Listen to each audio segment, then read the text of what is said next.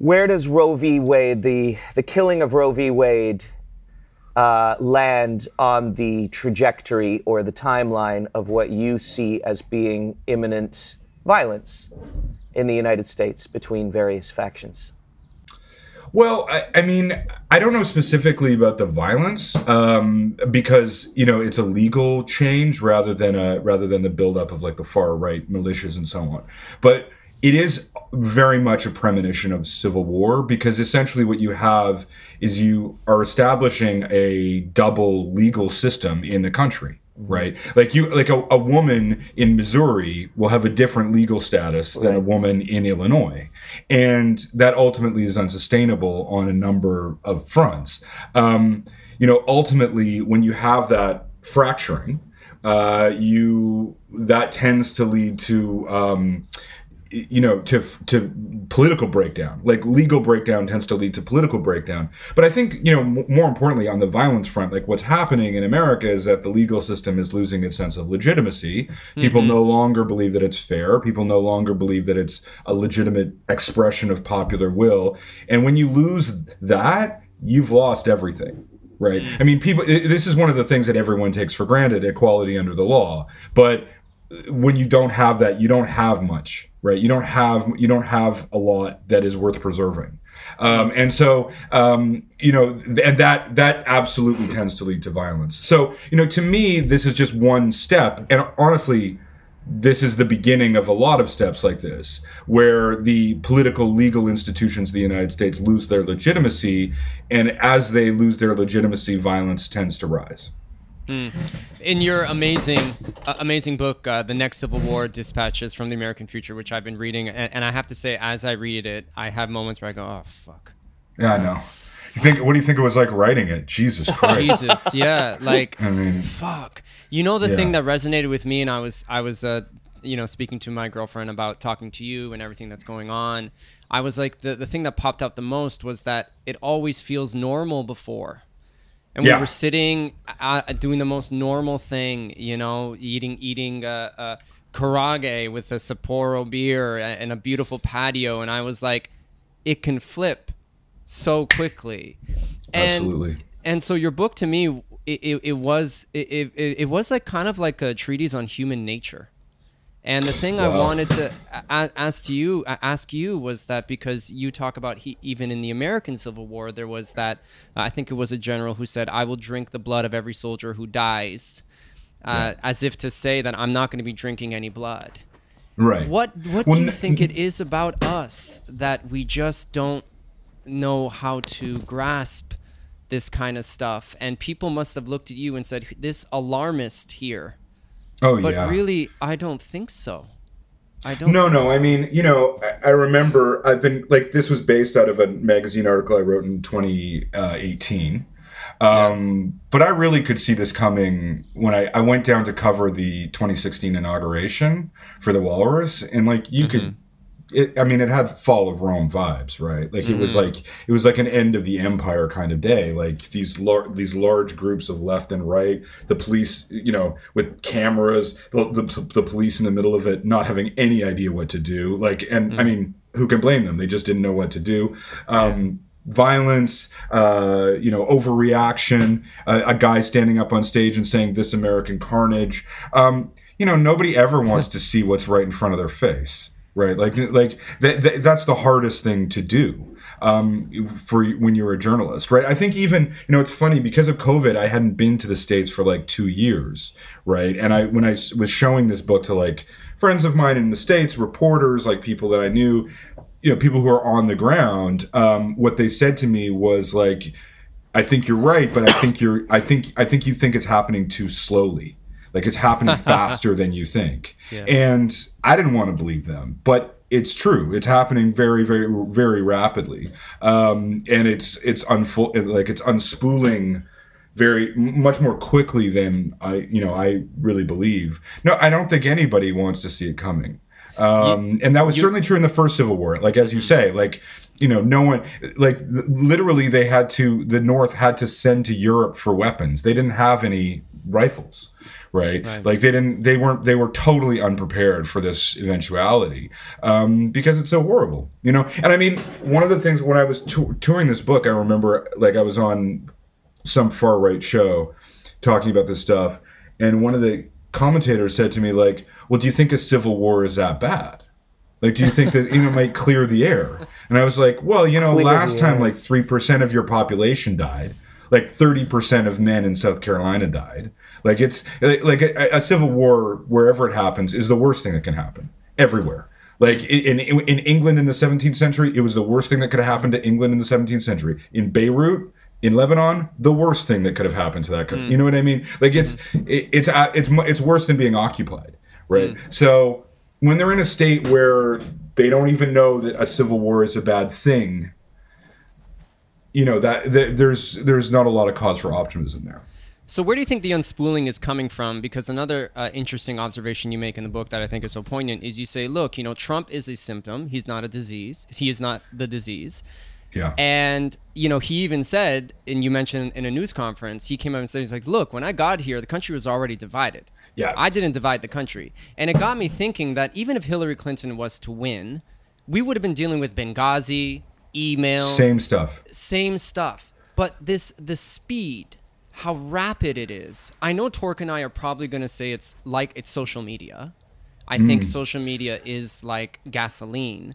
But what do you think is actually unspooling? It's quicker you have to. I mean, I wanted I wanted to do a whole chapter on social media in the book. I was fully prepared to write like an, anti so like the, here's how social media added turn to off it. your phone. Like yeah, you know, like that. That's the problem. Like I was yeah. I was there, but then you know, real you really like pretty quickly realize that like you know Germany has Facebook, Canada has Facebook. Like everywhere in the world has Facebook, but we don't have the problems that America has. Like not even close right? And there is a specific, I mean, it is the $64 million question like, what is the cause of this, the ultimate cause of this? Mm-hmm. Um, you know, in the book, because the stuff is so inflammatory, I wanted to stay right on the facts, like right on the models that I chose, yeah. why I chose them, what like what they show, and I didn't go into like deep philosophical questions about like the American experiment or something like that. Sure. I will I, I will tell you I mean I have my own theories, but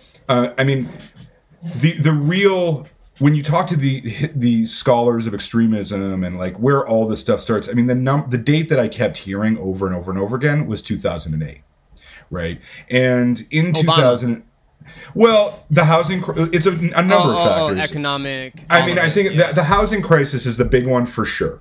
You have the end of the American dream in a certain mm-hmm. sense. You have the end of this idea that all every generation is going to do better than the generation before. You have uh, a, a, an economic system, a financial system that's a re, that's revealed to be fundamentally fraudulent on a number of really core mm-hmm. levels. Um, I think also the election of Obama, for sure, with we have a multicultural iconography replacing a white national iconography mm-hmm. and all, all that goes with the, like all that goes with that. And then also I think you have the surge in Iraq, which fails, mm-hmm. and you have the end of the idea of America as this you know colossus that brings goodness to the world right in, in, terms of foreign policy so all those things tend to happen in 2008 um, you know the big causes here like if you're choosing like what are the big ones um, n- number one would be the decline of the institutions and the decline of the trust in institutions. Like mm-hmm. by 2040 50% of americans will control 85% of the senate right? So you have this well you have this just in, in, intense illegitimacy, right? That's becoming like the Supreme Court is just a, another bit of that, right? Like it's another example of like, oh well, you know, they're going to use this mechanism to support to do, you know, to do a, a policy that's massively unpopular. That was even in, in, in, the dissent, yeah. even yeah. in K- uh, Kagan's dissent, she was like, this yeah. is not uh, out of legalese that we're here. We're here because three judges with three different opinions showed up. Right. Yeah. And uh, and then there's also the fact that by 2040 America will be a minority a, ma- a majority minority country, right? So mm-hmm. everywhere in the world that that happens, like there's a fascinating study out of India where it charted uh, Hindu violence against Muslims and like it's not when Hindus decline, it's when Muslims rise right? So the Muslims are the out group in India, and when and they do it amazingly just through spending patterns. So like as Muslims have more spending power in relation to the dominant Hindu majority, that's where that literally the violence starts in those places at those times right? And you can you can find that everywhere. That's not a that's not a white american thing. You can see that in india. You can see it all over africa. You can see it in europe and asia. Um, when you have a dominant group losing its dominance there is political violence. That is a that is something that you see e- everywhere in the world. And you know that's that's coming to america too, that's coming to america too. That would be the those would be the deeper reasons but you know the, the the other question of like where does it all come from? I mean that's really like i i i i, I don't i don't know. That's the, It the honest it- truth. It like it's strikes so me, Stu- it's it so strikes deep in their Stu- history. It strikes me that um, you know civil wars are culture wars. No, like if you think of the invasion of of Ukraine, yeah, you could say that's about Russian destiny and, and him wanting to go back to Tsar, pre-Tsarist Russia and all that stuff. But but really, it's about money. It's about territory. It's about oil lines. It's about you know wheat. It's about things that foreign wars are often fought over, right? Blood and treasure. This this war is a culture war, and the turning point of Roe v. Wade is a cultural moment rather than more than a more than a legal moment. Because if you are, as you say, if you hmm. live in Illinois, you can go get an abortion. If you live in Missouri, you can't, but you could go to Illinois. I mean, it's not like this is going to be physically. We'll see. They're trying to. They're already Well, trying to ban right. the, the traveling. Right. But mm-hmm. But do, do We'll you see. think like how does one and I'm I'm scared to know your answer to this because I think I know what it'll be. How does one prevent a culture war? How, what do you see if anything hopeful about the notion that the the people of America might come to some agreement about some of these cultural differences that seem to be pulling them apart? Uh, is there any solution to that? it's well i mean you know for okay like a few a few things. Like one thing that they don't they like what the what civil wars are are struggles over the meaning of a country Uh-huh. fundamentally like they're about power and they're about in groups and they're about and they're about control of things and they're about and they're about control of institutions.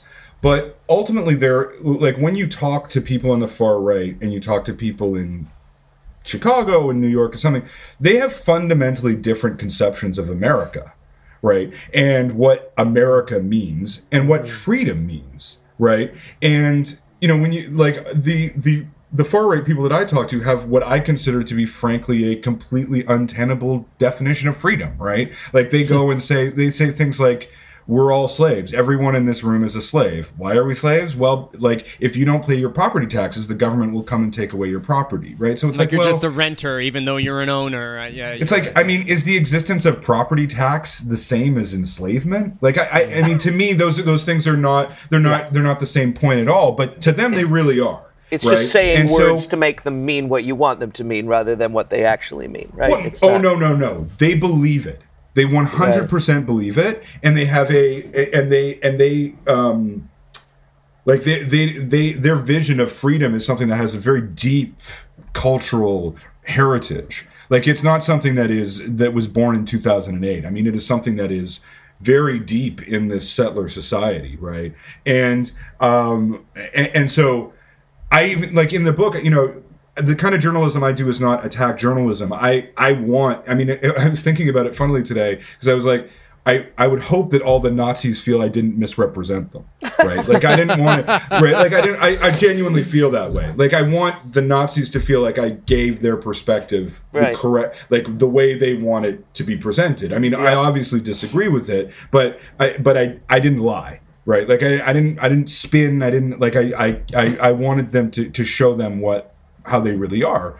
Um, you know, as for hope, I mean, I think in America right now, you know, see, one of the things is that these cultural questions really come into play. These this toxic political culture things come in when policy goes out the window. Right, like I mean, that's one of the reasons why these things are not as severe in Canada as they are elsewhere. Because, like, we do policies all the time. Like we passed ten dollar a day daycare in this country like six months ago. Like that's so inconceivable to anyone in the United States that they all they can do, the only influence they can have is to call each other names. Right Mm-hmm. and, and and like they and like, radicalize act- each other. You mentioned. You talk radicalize about how each they radicalize each other. yeah they, they they it's called complementary radicalization i mean it's a completely um, established sociological pattern. And like it is exactly what happens in places like chile when it before it spiraled out of control. Um, like they the, the the far right and the far left get this uh, in this hate on and they build off each other's hatred because they're both equally impotent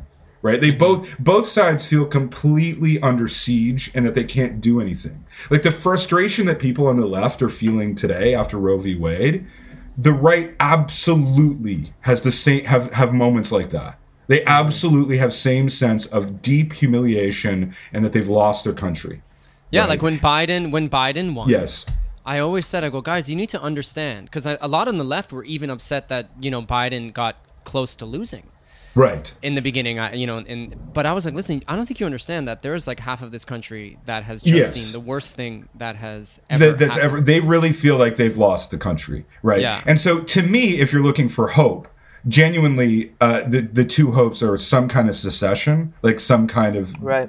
separation Yeah. or you know or genuinely a, a second a second republic like they need to like what what is like france is in its fifth republic right america's republic is an antiquity right like it was written the, the mm. constitution as it was written was written 100 miles from virgin forest Well, this is Right, what like I wanted written- to. I wanted your thoughts on this because I'm glad you're saying this because I was saying to Moya yesterday, my wife, it's really looking like the U.S. Constitution, which was praised for 200 years as the most sacred document anyone had ever come up with, and my God, is this thing ironclad? It's really looking pretty flimsy at this point. I mean, Oh.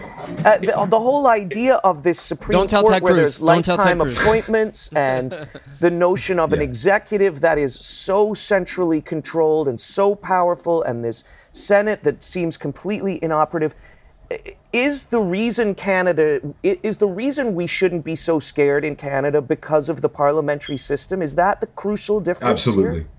Absolutely. Well, there's a bunch of them. I mean, for one thing, our constitution's written in plain English in 1982. That if you Right. if you and I decided to read it right now, we could actually understand it. Right. Which is not true of the U.S. Constitution. Um, there's also the fact that white people in Canada come in two varieties, that like English Uh-huh. and French, which makes nativism more or less of a Difficult. joke here. I mean, Right.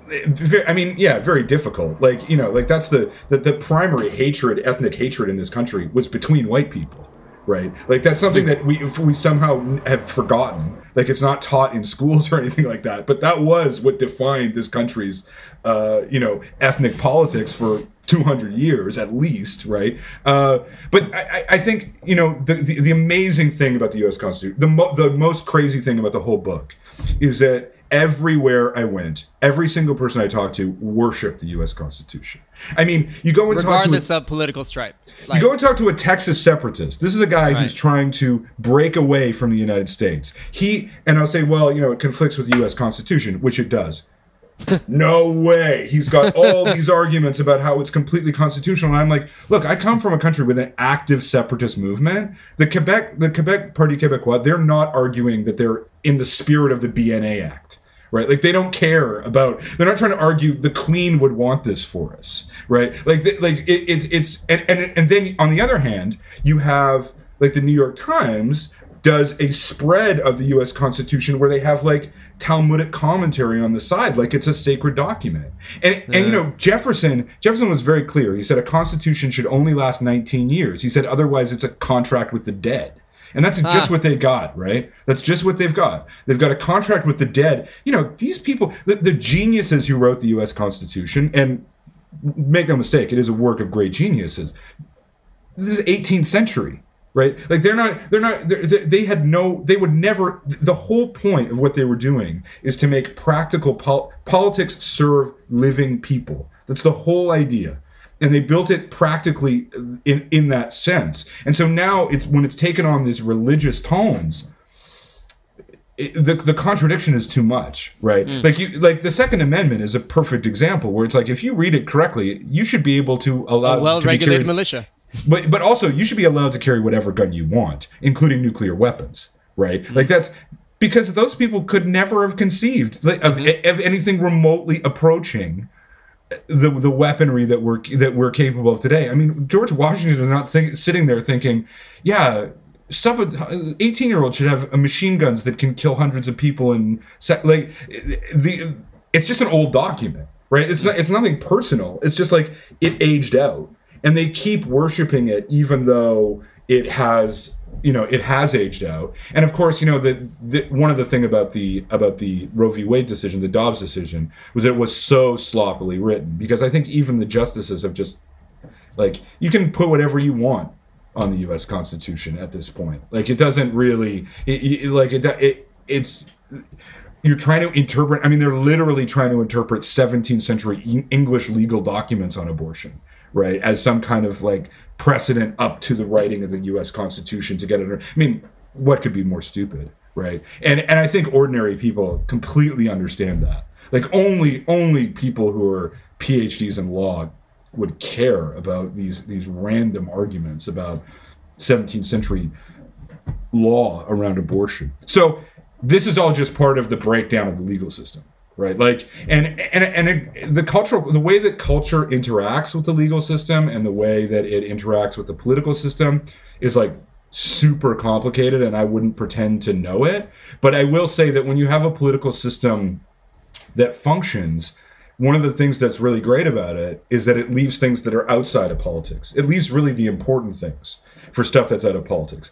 And nothing is out of politics in America right now. I mean, you go to a grocery store, you can buy LGBTQ positive cookies, or you can go and buy homophobic chicken sandwiches, right? Like every, absolutely everything gets charged with this hyper partisan meaning.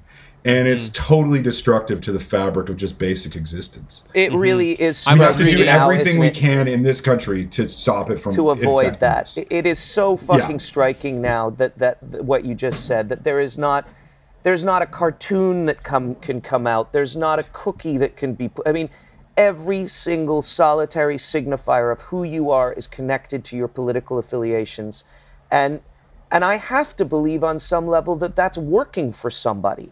That, that the reason that Oh, that's yeah. happening Yeah. is because it's managing to sell shit to people, or it's managing to uh, create a demographic that then can be sold things. Is Yeah. that well? They literally are riding the angry algorithm, right? Right. Anger drives engagement, and they literally ride it, right? Mm-hmm. And they uh, and like it, it's just it's just it, it's such a disservice to politics. Well, you know, ultimately the thing about American politics is that it's post policy, right? Like I remember in 2015, I covered the Canadian election here, and then I went down for the Guardian to see a Trump rally and a Sanders rally. Right? They were within two days of each other in Iowa, so this was like a chance to go and see both of them and have a look at them. And so, a Canadian election, as you guys know, is so boring that it's barely possible to pay attention, even when you're paid to pay attention Yeah. Right? Like it's like it, there's like I mean, literally the debates are like, "Sir, we need to invest 38 million dollars in education." No, sir, we need to invest 43 million dollars in education. How can you be so stupid? And then they fight over numbers that you don't understand, Yeah. and and then you and then it's over. When you go to a, a when once you cross the border, numbers are gone. Nobody talks about numbers anymore because they talk about God, they talk about socialism, they talk about these incredibly ethereal concepts that Uh-huh. have no practical applications in anybody's life. And that's because, you know, the idea that you're going to take Bernie Sanders in 2015 and get him to the presidency and then he's going to be able to enact some law like is ludicrous right like they, they all they all know that that's not on the cards Right. right. Yeah. like the like, amount it- of people, Stephen, I would be like Bernie supporters would be like, Do you understand how a law is passed in America? You Right. need two thirds of the Senate. You need a majority in the in the House. Obama had a supermajority, and the best thing that he could get was Obamacare. And and and they just they just don't get it. they, They just don't get it. they can't get it They can't because it's too it's too bad it- to it's- actually. the, the, the ultimate well i think they are getting it and the response is despair now see the Right. right got it long ago the right, Right, got right, it in right, 2008 right, the right Yeah. got the system is in breakdown get what you can right? The the left has is only I think figuring this out now, and actually the, they've wasted the past two years pretty drastically. With what was with, Obama delusional? Because you know you you talk about his speech in 2004. You're like it's Yeah. amazing, but at the end of the day, what a waste. Well, I I mean, I actually find that blaming politicians. Um, It's not him specifically. It- well, it's, it's, no, I no, think it's not- you're it's talking not really about- liberals. Well, I don't even blame Trump. That, right? Right, like I don't even right. blame Trump. Like it's not that's not the the the point is not that what one guy can do or not do or should have done or what what what if the race had gone this way or one of the like it doesn't matter. Like when you have a system in breakdown, it really doesn't matter what parts you put in and what they do. It's I, like as we said at the beginning, if Hillary were president, I still would have published this book right? Like this like th- this book would nothing in this book would really have changed right? It, like the, the inequality numbers that are the highest numbers they've had since 1776 the mm-hmm. environmental degradation that's producing environmental refugees. You're, you're going to have internal refugee movements in the united states. I mean eh, we don't know if there's going to be pregnancy refugees, but probably. I mean, mm-hmm. like they are building they are building abortion centers on the Oregon border, on the California border, on on the Illinois border. Like you're going to cross over from Missouri, there's going to be a river, and on the other side of the river, there's going to be a bunch of abortion clinics. Mm. What happens when one of them gets fired on? Right? Mm. Like which they will. Right? Mm. So like you, you know the, the You see, When you, you see peop- when you listen to Stephen or you read Stephen, you're like, oh fuck.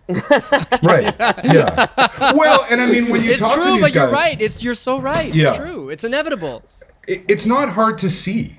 Like Yeah, you know, no, I mean, it- like it- like if you like, I I think what I did really in this book is I just went to these places and asked them, "What are you doing?"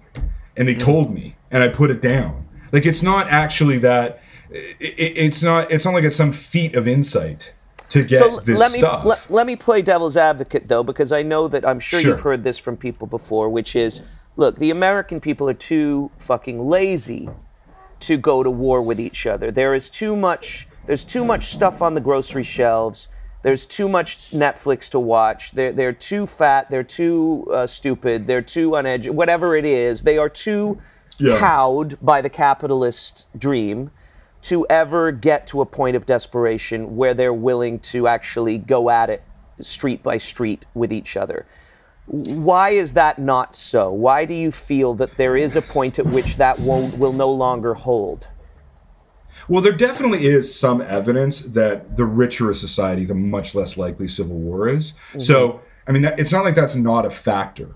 Um, but you have to remember, like, what I'm when I talk about the next civil war, I'm not talking about like Texas invading California or something like that. Like what I'm talking about is the rise of political violence to such a point that you have a situation like you had in Iraq or you had in Syria where essentially you're you're you're struggling between order and chaos in this insurgent and counterinsurgency. It doesn't struggle take everyone, where- right? It only takes a few guys. Oh, with guns. absolutely not. Yeah. N- civil wars are never fought by. They're always fought. I mean, I- Ukraine's a bit of an. well, Ukraine's not a civil war; it's an invasion. But, um, but like the, but yeah. The, so money does actually mollify quite a bit, but also, you know, times are not always high. Like, like we, the Trump years were quite wealthy. Um, and we still had a lot of unrest, like a lot of, of political violence. Um, we're in the middle of high inflation. We're in the middle of we're due for a major recession, right? Um, it- when those things happen, also you know like y- you have to understand how much fluid money is in the United States right now. Like they just keep pumping out money, right? And when they when they have a crash, it's unclear whether they're going to have any bullets in the gun to fire to stop a, a, a true bleeding recession. So, you know, what does happen when the economy crashes, right? Because this is capitalism; it works on boom and bust. Like, it, it- you know, a crash is always coming. That's the right? cycle. Uh, yeah, it's a it's a cycle. It's a it's a it's an economic cycle, right? And and so what? Yeah, what happens when the money dries up? Very very hard to know. But you know, economic models are actually the weakest. Like I put all the best models I could find in the book, the environmental models, political models, historical models, and so on. But economic models are not worth the paper they're written on. No one, no one knows what's going to happen with an economy. They just mm. don't. If they mm-hmm. did, they, you know, some people claim they do. Mostly, they've just been lucky, right? right. But uh, like there, so I mean, I have the guy from the IMF in that book talking about what a crash would look like in the United States, but it's not the same as like the, the the, decline of political legitimacy in the United States, which is just I mean, you, that any like that. There's only one way to read that information. So, um, yeah. The other thing is that th- what tends to matter in political violence is the history of political violence in a place. So, places that have coups tend to have coups, right? Um, which America has never had. So, which right. is why it's super unlikely that there will actually be a coup in the United States. Right. Um, but presidential assassination and right. civil conflict, very normal. normal. Part, absolutely part of American history from its mm-hmm. beginning all the way all the way through to the 60s, all the way through to now. Yeah. So, mm-hmm. you, you, know, the money does help, but it's probably only temporary. I mean, it, we know it is temporary, and and it's also like that's the, the more relevant factor is like what what are the uses of things. Rich countries fall into civil war. I mean, that's not that's not unprecedented. I mean, you but kind I mean, of paint a, a, picture. You paint a picture in your book about you know the uh, the bridge, and it was so funny. As I was reading it, I was like, "Wait a second, this is a literary device, right? Like, wait a second, this yeah, isn't actually because it, it's well, so it's so real." But what's interesting about it is that you talk about incoherence. That there's so much inc- that they're incoherent. What people are angry about, and we even see it, like the amount of hypocrisy and even the culture wars on the left. Oh yeah. What what will the Civil War be about? am I wrong to say that the, the, the American Civil War was was at least for the majority of people about slavery? But yeah. this one, what is it going to be about? Because everybody seems like they're in their own little micro civil war with each other. I was reading today in in, in New York uh, magazine about this high school that that put a list of like boys who were evil or rapists yeah. and and that caused the civil war inside this high school. And if you think about it we're all having these like micro civil wars with each other. I know. And because we're all in our echo chambers and because we all don't share a story what is this war going to even be about? Or are we just like self-destructing? That's what well i mean i think you know order versus chaos is the right. nature of this struggle right, right? right. Like and and the problem is that any attempt to impose order like the theory behind the surge in Iraq was that if you gave if you clamped down on the violence firmly enough you would you would have the space for politics right? And people could negotiate and people could come to agreements between different groups. But the thing that they learned is that by imposing order you essentially create huge mo- amounts more violence. You said like the, the resistance to that imposition of order is ferocious and, right. and creates its own backlash, which is why no one no one could ever really win uh, an insurgent conflict, right? Like you right. like because anytime you anytime you like the Iraq like the the uh, Afghan war, they go in and they sometimes they have days where they kill hundred insurgents, 100, 100 people doing terrorism. Six months later, there's 300 of them. A hundred right? like of their brothers it, are, are, are on the front line saying, "I'm going to exactly. get revenge." It makes it makes it, make, it makes absolutely no difference, right? And uh, it, it just makes matters worse. So you know, I mean, I think one of the things is we have obviously now. I think it is much less in Canada. Like in America, they are brutalized and the institutions on the left in america are absolutely brutalized like you know the, the feminist organizations who are going to have to deal with roe v wade have all been mm. through identity politics struggles that is going to hamper their ability to function to to meet this moment like they they are they're we're in a we're in a state where America is just we're just punishing each other. like that's the only way we seem to be able to communicate is by punishing each other. And of course, you know, nobody grows through punishment. Like no. nothing, no, nothing. Like nobody learns anything through punishment. Like, it, mm. like there, there's just this constant need or it, to humiliate and exclude. I mean, you know, let's not do whataboutism here. Like when we're talking about the right, we're talking about violent factions who commit political murder, and the left is not. The very negligible groups on the left are doing that. But you know, I think this instinct to punish, which shreds left wing institutions um, mm-hmm. and leaves them essentially very vulnerable. Um, has has definitely partly led to this. I mean, yeah, the, the quest for purity has the really quest for purity. Nice. I mean, the the current brand of uh, you know, progressive politicians need to look at Dobbs as the ultimate failure. Mm. Like that is the like that is the ultimate failure. Right. You had you had the support of seventy percent of the population, whether they were left wing or not. You had uh, entrenched law. You had things that had been in place for fifty years. How the hell could they have lost this? Right. A right. I mean, it's a right was taken away. Yeah. I mean, that's that's because incredible. but her emails, unbelievable. But yeah, her emails, like, like that quest they, for purity. Yeah, and, the quest and, for purity, and not and the, just sucking it up and yeah. getting a Democrat I mean, into the if, presidency. If we don't have solidarity, like it's yeah. just going to be one of these things after another. Mm-hmm. And like beating the shit out of white feminists for fun, like I, am sure it feels good at the time, and maybe it's probably you're right right? I mean, probably they are annoying, but like the time has come to, to recognize that that's not the way you build coalitions. It's not the way you build action. It's not the way you win anything at all. It's not how you maintain a family. It's not how you yeah, maintain your own exactly. personal relationships or an organization. And for yeah. some reason, I want to talk quickly about Canada because you actually yeah. do mention in your book, I do believe that things trickle up.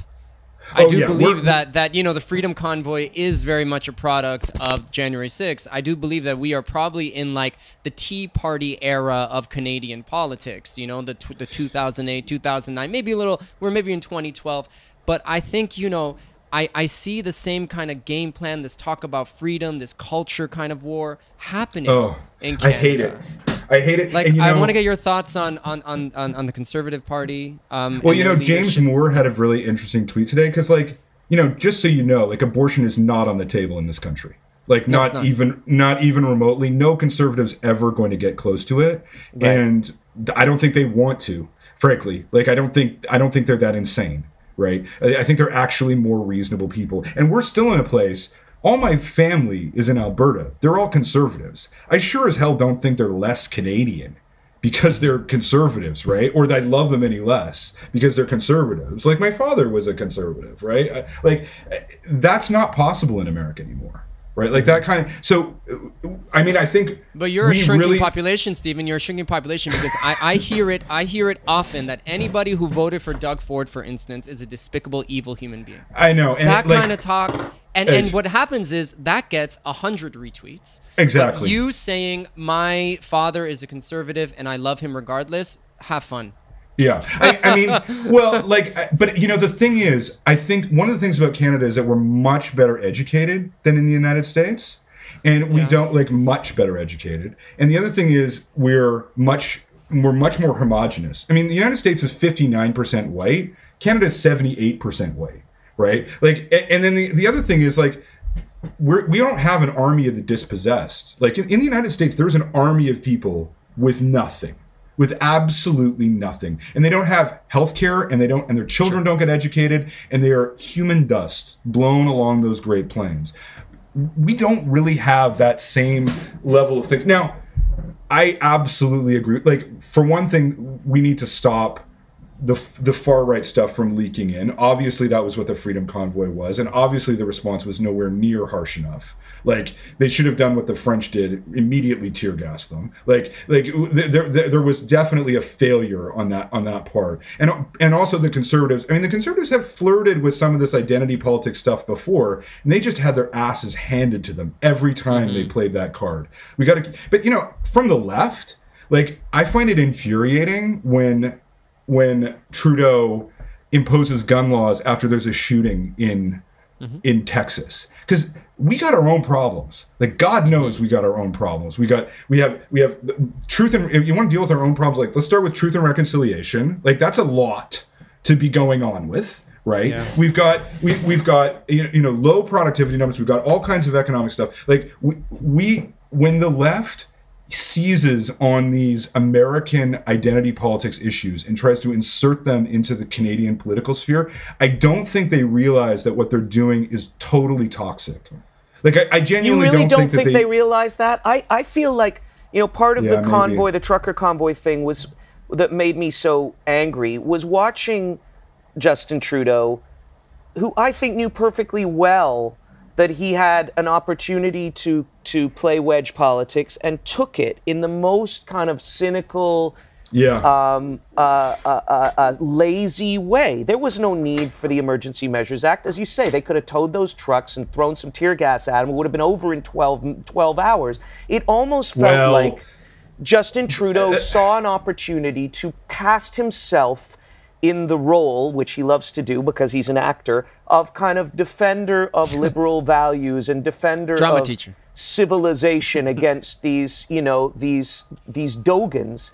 I, I, don't. I'm not so sure that we're not seeing more and more of that kind of politics being played here. No, I mean, isn't Yeah, Pierre Poilievre jumping on that thing. bandwagon? Absolutely. And I mean, we got to make sure these guys fail. Yeah. Like we need to make sure that they absolutely drastically fail because God knows there's a conservative movement in this country that's real and that's coming Mm-hmm. to power again in which frankly they're not my politics. I don't like their politics, but they're not insane. Right. Right. Like they're not like like they're they're not they're not even remotely close to what I see in the United States. They're not the same Yeah. ballpark, they're not the same game. They they they're, they're not they're not they're not lunatics at all. Right. Well, and it's so- political suicide to say you want abortion outlawed in Canada. It's just not going to Oh, get yeah. you elected anywhere in this country, right? But Like, also, nowhere. they don't want it. They don't They like. don't they're they're, they're Right. not. They're not the. They're not that kind of. They, they, they- those kind of wed- What they really want is like to hurt the to slow down the bureaucracy a bit, right? Like, the, Right. like they're they're they're not they're not the same thing even remotely. But you know, I mean, I think your point with Trudeau is like I think it's a little from column A and a little from column B. Like I think. I don't like to second guess the trucker convoy actions. I mean, I actually think the emergencies. That by the time they did that, it was kind of the only option because Yeah. you couldn't tear gas them anymore. Right. But but the but um but you're definitely right i mean there's definitely this grandstanding on these liberal issues that are not our issues that are not our problem and and and using them as a wedge and i think that's just that's not like let us at this point in our history we have to be like okay larger things are at stake than than whether it's Doug Ford in in in in power at Queens Park. Like we need to prevent uh, this neo-fascism and this well this this just this post-policy way of politics, right? Where it's Right. totally divorced from any actions. Right, like it's totally divorced from what the government is going to do or how they're going to govern. It's just all this emotional nonsense. Like if Canada has something going for it, it's that we're too practical. We should. I mean, I would hope that we can keep that kind of like practicality around politics that I think has been pretty served us pretty damn well. I, I, I really hope so too, Stephen. But you know, I, I want to kind of push back on, on on some things. I think the reason why they go there when let's uh, you know when uh, the Dobbs decision came down, and Trudeau you know really went out and and and did what he did, because a lot of people were like, oh yeah, well why don't you legislate it? And the truth is, the majority of people don't know that it actually is in the Canada Health Act. It is Yeah. legislated. Yeah, and I think that's what's going on is that I, I wish, you know, Torque and I always call for we need another age of reason. We need another age of enlightenment. Oh, you know, the, the God. printing We need a return to humanism. We need a Yeah, we humanism. sure we, we need we need a rally for sanity, a rally for nuance, and it really feels like we have two extremes. Like I think there I are seventy you have these percent of us that are normal, and and so Yeah. how do we how do we energize the normal? Like I think we all have different political. We're like you know left of center, center, Yes. torque, torque, torque, chilling in the left over there. But Yeah. I think we would all sit down, come in a room, and compromise and Well, I find think- something. First of all, we are now. relatively we, we have retained our sanity, right? Be, in, insofar as we believe that government is involved in the business of governing, and that that is what it does, and like it makes policies. Sometimes those policies work, sometimes they don't. You get you get the one you keep the ones that work, and you throw out the ones that don't, or you try, right? Mm-hmm. But I, I, like so, I think we we have retained that. I mean, I find it incredible when you have people on the left say things like, "Well, why don't you legislate it?" And it's like. Look, Wake you're up. not in. America. You don't live in New York. You might want to, but actually, you live in Ontario. there's uh, there's already all the and the same thing with Tamara Lich's husband, where she where he was like, well, I thought I I thought I had First Amendment protections. Right. You've been out here waving the Canadian flag Yeah. for six weeks and blaring your horn, and you think you have First Amendment protections? This this is what the toxic spillover really looks like. Well, It- like Stephen, you never you never went to WhatsApp University. Well, I mean, you know, like I certainly th- there's this there's this um, I, you know I felt it even in I remember at the um, at the Wall Street uh, Occupy Bay Street. I remember going through Occupy Bay Street when I was a kid and thinking like you got you guys you realize that you're protesting for Canadian banks to be regulated exactly the way they are currently regulated. Like, yeah. exa- like, like, like, we survived that because our banks were regulated correctly. So now you're out here pro. Like, I know America's exciting. Like, I, I get it, right? Like, I get that. I get that it's much more fun and like, like the drama is so much higher and the stakes are so yeah. much higher and so yeah, on. Like, I get it, but like, there's there's lots here too. You know what I mean? There's like lots to be there's lots to be going on within our own politics that needs a lot of fixing, right? I mean, we're bringing in 400,000 immigrants next year. They are PhDs. They are the most elite immigrants in the world, and they're all going to be driving cabs. This is a yeah. problem. This mm-hmm. is a real problem. Like mm-hmm. my plumber, and they can't afford PhD, to live anywhere. You know, they can't afford yeah. to live anywhere. My plumber has a PhD in rocket science. That's literally true. Jesus the guy who comes Christ. in fix my toilet, right? This is not functional. Like, this is not acceptable. Mm right? But there's lots of things like that. We don't have to borrow the abortion debate to have our own yes. policy debates. Yes, y- you know that's the mean? debate we should be talking about. We should be talking about your plumber. Exactly. What is this guy doing doing freelance plumbing work for me when he mm. knows about friction ratios and uh, mm. you know non-gravity situations? It's ridiculous. Why do we have a, why do we have a shortage of healthcare workers when we have thousands of doctors and nurses who are fully qualified? Yeah, but that's just and, I mean, and, and, and, we have people who are doing their residency who are going to become clinicians who are thinking to themselves, I can't even afford to live in Toronto. So I, I, I think honestly, like, eh. this this American thing, it's an alibi for us. It's ah. like we don't have to face our own ah. demons. You know True. what I mean? Like we don't have to face our own. Like we got plenty of problems, plenty. You know, mm. but as long as the, as long as the news that we listen to is like, you know, the rioting and the uh, and these terrible laws, which are all ca- and they're all going to affect us. Um, we don't have to pay attention to them. You know, we don't have like we can we can we can ignore our own. Like a, it's sort of like when you have a neighbor who's a meth addict, and you're like, well, I'm anti drug. I'm not a meth addict hooray for me. Like it's not I, like I, I don't really think of that as an achievement. Stephen, what's your take on where this goes next? There was talk. Clarence Thomas already started talking about other uh, laws that might be affected by this regarding rights to privacy. In other words, gay marriage, um, sex before marriage, really, right. really heavy duty shit. Do you think not interracial Supreme... marriage though? For do, him, do, yeah, well, yeah. Do you think if the Clarence Supreme Thomas Court... reverses loving, that would be the ultimate. That would be really something. Do you think yeah. they're? Did you think that's realistic? Are they really going? No. Are they that radical? Is this court that radical, or are they going to back off now because of the sense they get? I mean, I have to believe that Brett Kavanaugh and Amy Coney Barrett and these people are not entirely unafraid at this point oh, for their own physical in, safety. You know, like they're literally in hiding. I mean, this is part of the problem too, right? Like when your just judges can't, you know, are worried about their physical security.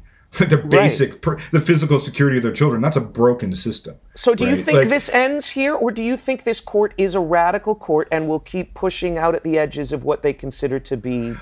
Oh, it's a radical court it's a radical court, and they're going to like next week they're going to essentially end the uh, Environmental Protection Act, right? Like that's that's coming next week, right? Like, but it, it won't be it won't be um, people won't care about it, it won't that be because it's not a cultural issue, right? Exactly. It's, it's it won't be it won't be it won't be contraception, and it won't be and it, I I seriously doubt it'll be gay marriage. I mean, that would be so catastrophic for the conservative movement at this point like that it, that it would I, I actually don't think they even want it I, I mean it's it's one of those things like i'm not even really convinced they wanted to end abortion mm. you know mm-hmm. like i think I, mm-hmm. I, I i think genuinely this like they take up these these pol because they don't have it you know like you have no idea how poorly placed they are to enact the policies that they've just implemented like they don't. It, it's like that thing with the Civil War where they they got to the Civil War and they realized, hey, we don't have any guns. Like in the first Civil War, like we need to go to Europe to get rifles.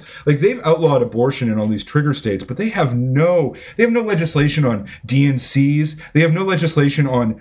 They have no idea. Are, are police supposed to be at OBGYNs? What what is the policy around miscarriages? Right. What is the policy around they and, and you know, before in the 60s no woman was ever punished for this right like because women were too soft like it was the doctors who were blamed like no woman who got an abortion was ever so now th- they're in a legal situation that they literally have never faced and they Right. i don't think they ever thought they would get there like it is a it is a sort of dog catches the car that it was chasing moment. Right, right. like they don't like they, they don't know what um they're What's so the what's the PR fallout of prosecuting an 18-year-old Hispanic woman for getting an abortion at six months because she was going to die of ectopic pres- pregnancy, right? Like, But also, how do you, what's how the do you go what's the legal that? mechanism? What's the legal? Me- mm-hmm. how are you going to enforce this? I mean, Right. You know, they they've just spent billions and billions of dollars on a drug war that they lost.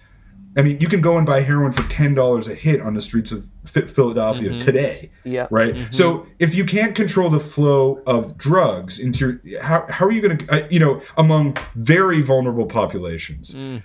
when middle class people want to get access to a pill in the United States, they're going to do it. Mm-hmm. And like the idea that you can control that is ludicrous. Like it, it I mean, they haven't put five minutes of. Do you know the reason? That, like the most amazing thing about the whole abortion story in the United States is this: between 2010 and 2018, abortion numbers in the United States declined by 13 percent. Do you want to know why? because there were more Planned Parenthood clinics and they and they preached education and contraception. Duh. If you actually want to lower abortion rates, you educate girls and Right. women, right? And that's I mean the law will make nowhere remotely that difference. But see because they don't think in terms of policy, right? Like if you want a policy hmm. to to actually lessen abortion, to to actually lessen really abortion. diminish abortion, yeah, it's yeah. entirely possible to do. The way to do that is through education. But they just they don't want they don't actually want that. What they want to do is scream at each other. One side hmm. screaming life and the other side screaming choice. And it's like, you know, there if you actually want to solve this problem, there are ways to do it, but you know, they they they they that's totally beyond their capacities at this moment. Like they can't been- they can't think through policy. You've been very generous, and we won't keep you longer. But I do want to Mm-hmm. ask one more question, which is: so if this isn't the straw that breaks the camel's back or that ignites the fire, what what what do you see coming that really worries you? What is the moment where you might where we might begin to see uh, reports that in Texas a group of protesters who were armed met another group of protesters who were armed and 30 people died. Wh- wh- What's what does that moment look like? Do you think? That's nothing, man. Thirty people dying in But that's the protest, that- beginning, right? Is that when when you start to see armed Well- conflict between non-governmental groups? Well, that's already happening. That was Kyle Rittenhouse. I mean, that's like Right. that, that's that's def that's definitely. I mean, that, like people describe that in the, all these legal terms. That's an insurgent. I mean, what do you think an insurgent looks like in South Africa? It's a young Right. man with a gun defending community property. Like that's what that's what that's what an insurgent is everywhere in the world. It's no different in the United States. But Right. like the uh the the thing that worries me, like if you were talking about an actual conflagration point, I mean, when they find Nazis and accelerationists, um, accelerationists are people who just want the end of the United States any way it can happen. Um, they found several of them with low grade nuclear material. And um, I think, you know, the United States is incredibly vulnerable to spectacle and to spectacular acts of violence like 9 11. And um, like to me, January 6th was like the 1993 World Trade Center bombing, right? In the sense that it was like poorly organized. Didn't quite come It- it- off. It was. It didn't quite come off, and it was also not. It wasn't really done by the serious people, right? It was done by a kind of loner on the outside who was sort of peripheral to these movements, but uh, was not really central to the terrorist network. And when you ask me like what what really worries me, it's like the the much larger, more effective, better planned, better armed, better politically organized um, January 6th that could where they where like low grade nuclear materials are used. Well, And can uh, America survive another situation in which Trump becomes the nominee? Trump Yes, loses the election. They could survive it again. a situation in which he loses and he claims it illegitimate. But this time he has an army of people. Um, in, I mean, you know, America in- in America had a. America in 1828. Andrew Jackson won the popular vote and he won the most electoral votes, and he was not named president because of a process called contingent election, right? But And, he like, uh, accepted the loss, correct? he accepted the loss. It's true. Um, So can America go through this again with Trump? man. That's that that for me is like the point where I go, I don't know if they can do that without some. you know what? I don't know if they can give. either. I really don't. because that's where I we're mean- headed. So so that's why in a weird way I'm like, just let DeSantis win. But Oh, also yeah, reading your but- book, I go to myself. At the end of the day, am I just delaying the inevitable? They, I mean, they've already named like 30 solicitors general across Exactly. the United States who deny the election of 2020 Yeah. was real. So you're already in a state where you know the only a minor, uh, uh, only a slight majority of the country believes the last election was fair. Now, when the Democrats lose again, and they lose by many, like. You know, it is quite possible that in 2024 or 2028, a Democrat could win the popular vote by five, six million votes and still lose the electoral college, right?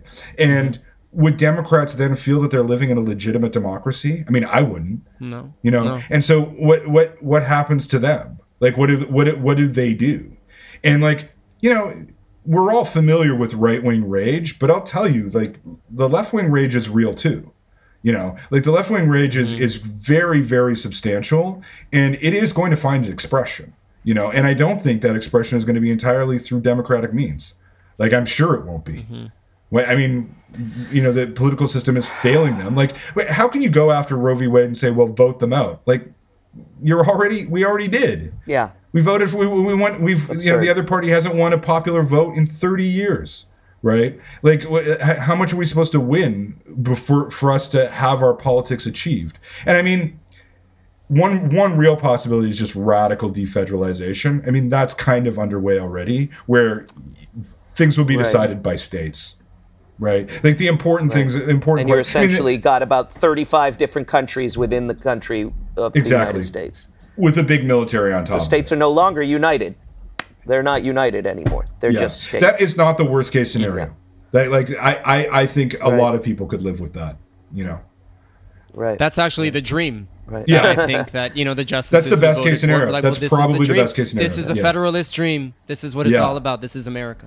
But Stephen, it's it that way. sobering shit, but you are brilliant at expressing it. And thank you so much for sharing your thoughts with us and for coming back on the show. Because I think it's important to take it out of the context of social media hype and people's extreme language and realize just how big a thing this is that we're looking at and how serious it is. And if we don't face it, it's inevitable. And Yeah. maybe if we face it, there's some way of moll- mollifying it to some degree. And and At least we'll be prepared. I mean, that's what I hope. prepared. Yeah. I mean, yeah. like what I really hope is like senior people in Canadian government and business and like are reading this and being like, okay, I gotta, pre- I gotta prepare.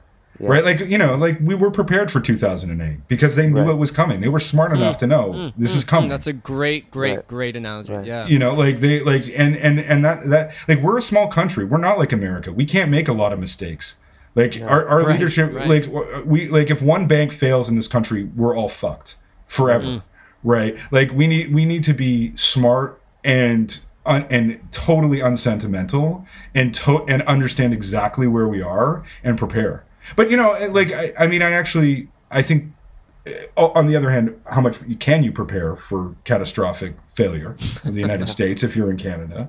But you know, I think I, I I think people are becoming aware of it for sure of just how much danger is out there. Well, thank you so much, man, for Yeah. letting us know about it. Really appreciate it. And uh, Always I a pleasure, we- guys. I love to love to talk to you, and hopefully we'll have you on to talk about how none of it happened. Oh, that'd be great. I would love that. I hope this book becomes one of those like rema- things you see in remainder book A piles, and you're like, oh, remember when we all Remember thought that that kook America was going to end? That guy was so crazy. I I would love fear that. not. I fear not. Yeah. Thanks, man.